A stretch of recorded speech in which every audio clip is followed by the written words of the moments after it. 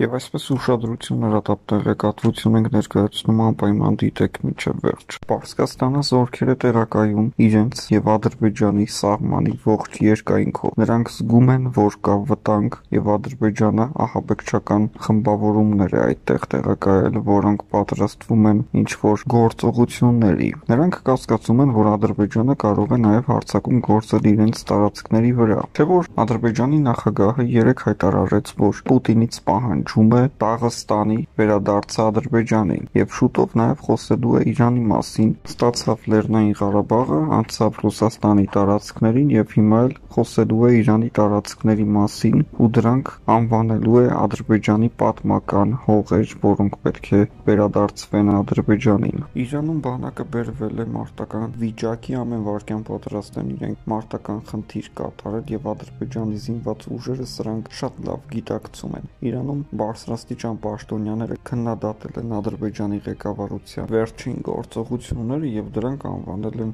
ահաբեկչական գործողություններ, որոնք վտանգ են սպառնում իրենց երկրի տարածաշրջանային անվտանգությանը եւ իրենք չեն ընդունում Լեռնային Ղարաբաղում ահաբեկչական խմբավորումների տեղակայումը եւ կարծում են, որ Ադրբեջանը ինչ որ բան է ուզում ստեղծել իրենց դեմ եւ կարծում են, որ դրա դեմ պետք է պայքար մղվի, որpիսի Ադրբեջանը հասկանա, որ Լեռնային Ղարաբաղը ուրիշ էր, բայց որ դու սկսել ես սպառնալ Ռուսաստանին, Իրանին, սա արդեն այլ հարց է եւ պետք է արդեն որոշում կայացվի, թե ինչպես Ադրբեջանի ղեկավարությունը խելքի բերել ցույց տալ այն, որ վտանգավոր է խաղալ Իրանի կամ Ռուսաստանի նման հզոր գերտերությունների հետ փոքրիկ Լեռնային Ղարաբաղում այդքան էլ գեղեցիկ չի ինչի որ ասենք հաղթանակ տանելուց հետո իրականում Ադրբեջանը մի քանի շրջաններ ստացավ փաստաթուղթը ստորագրելուց հետո այնտեղ զորքեր չեն եղել եւ հիմնականում Ադրբեջանը մի քանի կիլոմետր է առաջ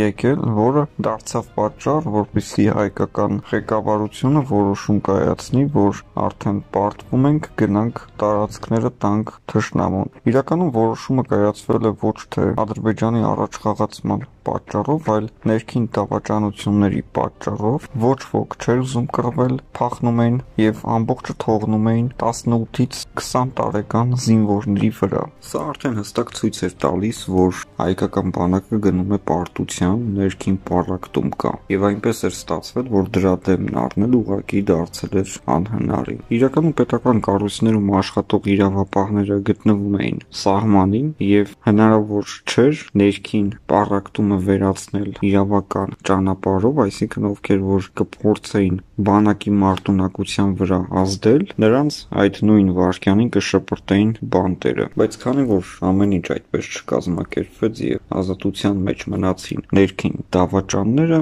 ստացվեց հետեւյալը, որ մենք ակամայից արդեն գնում ենք պարտության երկրի իշխանությունները գիտեին իրենց մեծ սխալի հետևանքը եւ գիտեին, որ պարտությունը անխուսափելի է լինելու։ Փաշինյանը շեշտեց, որ իր սխալը այն է, որ ինքը չի կանգնեցրել պատերազմը ավելի շուտ եւ ինքը կարծում է, որ եթե պատերազմը ավելի շուտ կանգնեցվեր, հնարավոր կլիներ փրկել շատ տղաների կյանքեր եւ ասում է այսօր կա այնինչ կա պետք է համակերպվել ու շարժվել առաջ թշնամու հետ խոսել հավասարը հավասարի պես իհարկե դա արդեն անհնարին է թշնամիտ քեզնից մի քանի անգամ հզոր է եւ անգամ չես էլ կարողանում հետը խոսել թշնամիտ քեզ վիրավորում է քո ազգին վիրավորում է եւ դու փոխարենը խոսում ես խաղաղության պարտադրանքի մասին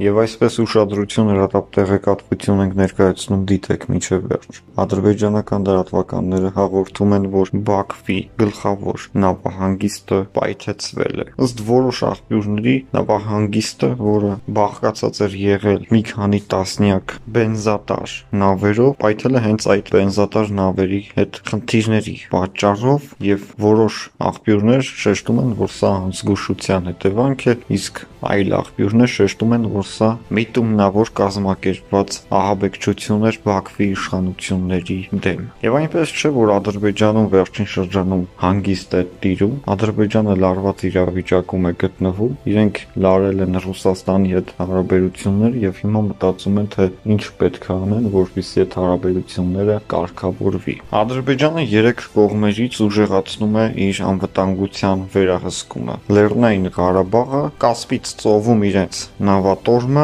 եւ Ադրբեջանի ու Ռուսաստանի սահմանը։ Այս երեք կետերը լուրջ թիրախ են հանդիսանում ռուսական զորքերի համար, եթե ինչ որ բան այնպես չգնաց, այսինքն որոշեցին, որ իրենք պետքա թշնամանան Ադրբեջանի հետ կամ Ադրբեջանին իր տեղը ցույց տան, որովհետեւ Ադրբեջանի իշխանությունները իրենք արհեստականորեն լարում են իրավիճակը Ռուսաստանի հետ, փորձում են իրենց դրսևորել Եվրոպայի առջև եւ ցույց տալ, որ իրենք հակառուսական պետություն գոյություն են եւ կարիք ունեն Եվրոպայի մեծ աջակցության։ Չնայած նրան, որ Ռուսաստանի իշխանությունները բավականին կոշտ խոսակցություններ են ունեցել Ալիևի հետ եւ որի մասով կա հրապարակումներ, վերջին շրջանում ռուս գեներալների հայտարարությունները, ռուս падգամավորների հայտարարությունները ցույց են տալիս, որ իրականում Ռուսաստանի իշխանությունները ոչ թե բարկացած են Ադրբեջանի իշխանությունների վրա, այլ մի հատ թեթև կայծի դեպքում հրաբուխ է տեղի ունենալու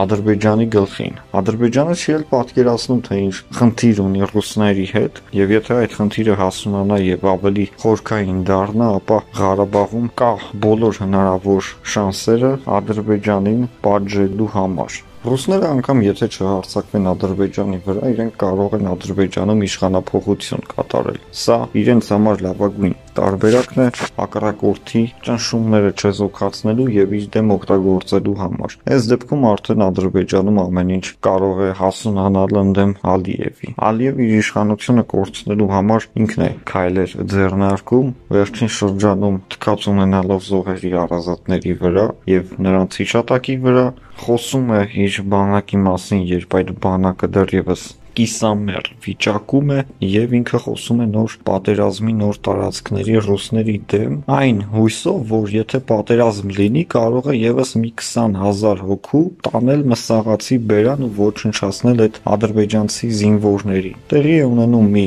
process երբ ադրբեջանի իշխանություններ իրենք էլ չեն հասկանում ինչ են անում բայց փորձում են իրենց ցույց տալ աշխարհի տերեր ինչը որ իհարկե Ռուսաստանի դեմ անելուց պետքա շատ լավ մտածել ու գիտակցել որ որ կերակի հետ խաղալը այդքան էլ խորուրդ չի տրվում։ Ադրբեջանի իշխանությունները իրենք են ստեղծել այս իրավիճակը ռուսների եւ իրանցիների դեմ, դեռ Հայաստանը մի կողմ, որովհետեւ Հայաստանը չի կարող այս իրավիճակում սպառնալիք հանդիսանալ Ադրբեջանի համար, բայց պահը եկած ժամանակ կարող է ուժգին հարված հասցնել Ադրբեջանի բանակին։ Այնպես որ հիմա Ադրբեջանը մտահոգություններ կարող է ունենալ միայն Ռուսաստանի եւ Իրանի հետ հարաբերությունների լարումից, դա կարող է Ադրբեջանի թե տնտեսության, թե իշխանության եւ թե բանակի վրա թողնել իր շատ վտանգավոր ազդեցությունը։